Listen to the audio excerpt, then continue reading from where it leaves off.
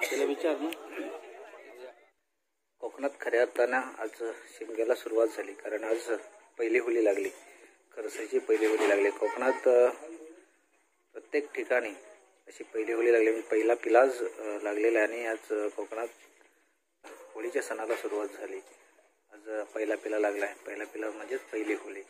तर अकराव्या दिवशी मोठी होळी लागेल. शिमग्याचा सण हा आजपासून सुरुवात झालेला आहे.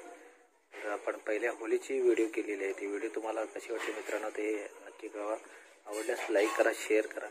आणि तुमच्या सूचना काय असतील तर कमेंट बॉक्समध्ये लिहायला विसरू नका. तर मित्रांनो इथेच थांबा पण पुन्हा एकदा भेटू नवीन अशाच व्हिडिओसोबत तोपर्यंत बाय बाय